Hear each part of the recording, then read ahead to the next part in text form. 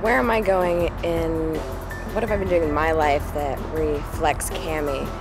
I'd have to say, people ask me, you know, are you thinking of something awful that's happened to you to make you find this place to act this part and really feel it? But honestly, I just connect with the character so much as being something that I don't really know wholly and something that I'm coming to understand as I've been acting through the part. And it's really, it's kind of a profound feeling to be able to assume another identity and become this person.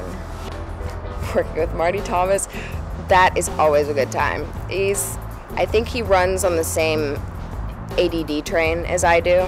So there is, it's always a fun time when you're working with Marty, and then when it turns serious, you know, everyone, it's the level of professionalism. It's working with this cast has been phenomenal.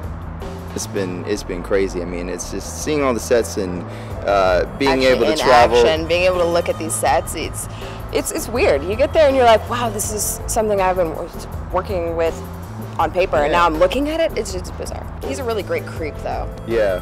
I mean, really. you, you, you Like, that no down. acting. It's just, uh, yeah, that's how we roll. Like killer, killer, Killer holiday. It, w- it almost was. We almost died in real life.